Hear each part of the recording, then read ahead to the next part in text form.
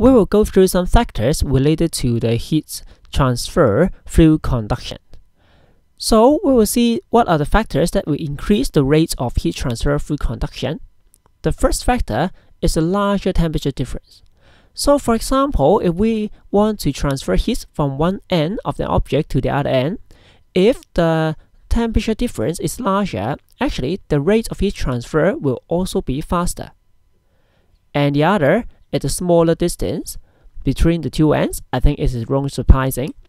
And the other factor is about the material. If we use a better conducting material, then the rate of the heat transfer through conduction will be faster. And the last one is the cross-sectional area. So the larger cross-sectional area, actually the heat can transfer faster. If you consider the molecular arrangement, if the cross-sectional area is larger, actually more particles and more molecules are involved in the conduction process. So the larger cross-sectional area, the heat will transfer faster through conduction.